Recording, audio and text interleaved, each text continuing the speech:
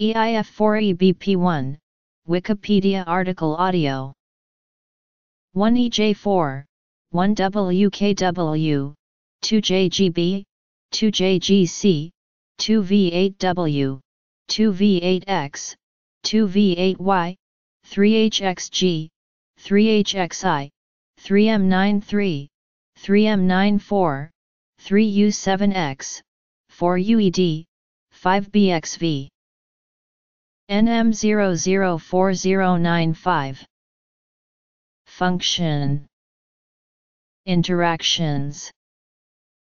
NM007918 NP004086 NP031944 Eukaryotic translation initiation factor 4E binding protein 1 is a protein that in humans is encoded by the EIF4EBP1 gene.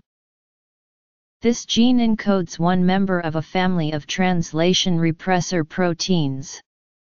The protein directly interacts with eukaryotic translation initiation factor 4E, which is a limiting component of the multi-subunit complex that recruits 40s ribosomal subunits to the 5-end of mRNAs.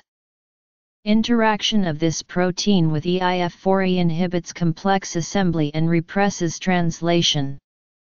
This protein is phosphorylated in response to various signals including UV irradiation and insulin signaling, resulting in its dissociation from EIF4E and activation of cap-dependent mRNA translation.